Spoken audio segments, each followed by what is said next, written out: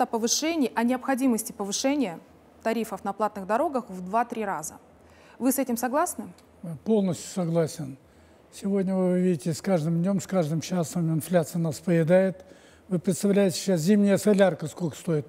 Почти что полмиллиона э, тонна солярки. А сколько техники работает на этой солярке? И у нас заложено не в бюджете совсем по другой цене. Сегодня бензин стал дешевле солярки в два раза. Поэтому вот расценки, которые сегодня в дорожной отрасли, их надо менять, тарифы, нормативы надо менять. Мы живем э, еще с прежними ценами 13-14 годов.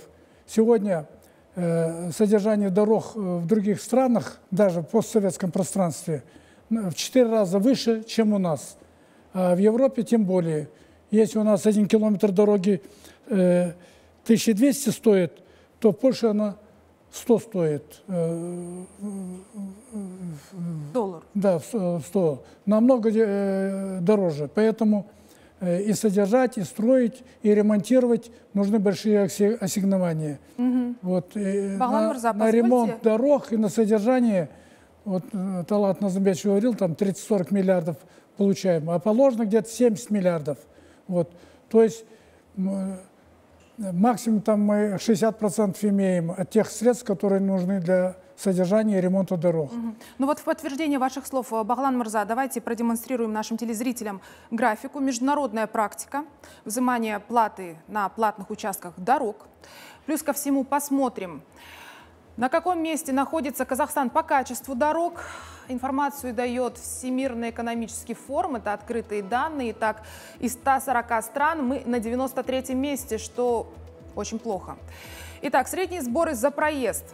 Швейцария около 12 тысяч тенге, Австрия а, больше 7 тысяч тенге, Китай чуть больше трех, Штаты около двух с половиной, Нидерланды около двух тысяч, Германия 1700, если в пересчете на тенге. Арабские Эмираты 487 тенге. Это для легковых автомобилей усредненная цифра. Но мы понимаем, что в Европе там, в принципе, и не такие большие расстояния. Тем не менее, да. цены много выше. Но что-то мне подсказывает, э, что там используется качественный материал для строительства дорог. А что у нас?